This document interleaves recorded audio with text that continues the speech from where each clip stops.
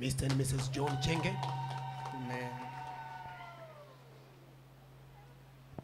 Bwana Yesu asifiwe kanisa.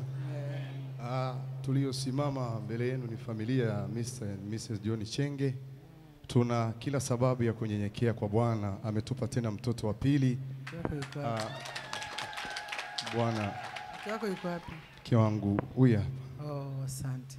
Bwana asifiwe. Tunamshukuru Mungu kwa sababu amemsaidia mke wangu amejifungua salama, lakini pia tunamshukuru mama askofu ambaye amekuwa pamoja nasi akiomba, akitupigia simu na kutujulia hali. Tunamshukuru Mungu kwa ajili ya askofu, lakini pia kipekee napenda nichukue nafasi hii kumshukuru mzee wa kanisa, mama yetu, mama Anatem.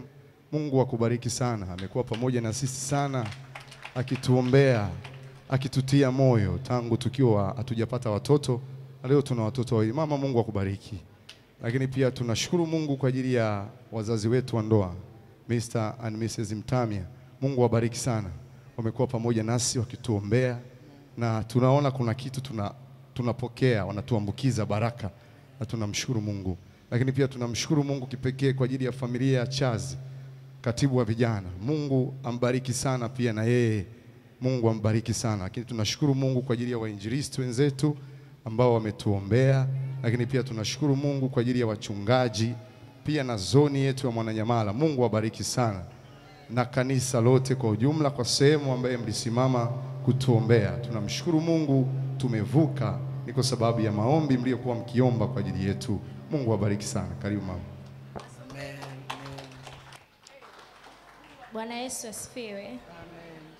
Nina kila sababu kumtukuza Mungu wa madhabahu ya mlima wa moto.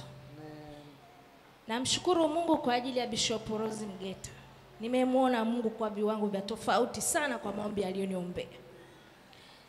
Ilikuwa si rahisi sana, ila namshukuru Mungu.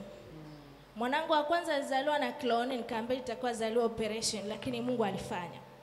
Huyu wa pili sikutarajia, yani Mungu alifanya kwa ukubwa zaidi kwa sababu mtoto nilipiga ultrasound nikaambiwa alikuwa na kilo tatu na gramu mia nane kwenda kujifungua mtoto ana kilo nne gramu mia sita. Namshukuru mungu kwa sababu amenitendea kupitia madhabahu ya mlima wa moto. Namrudishia sifa na utukufu kwa sababu ametenda kwa ukubwa zaidi. Amen.